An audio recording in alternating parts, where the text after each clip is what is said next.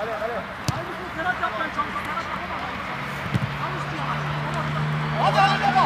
Halil müthiş çalımlarla oradan kurtardı. Şutunu attı. Engin'in bir müdahalesi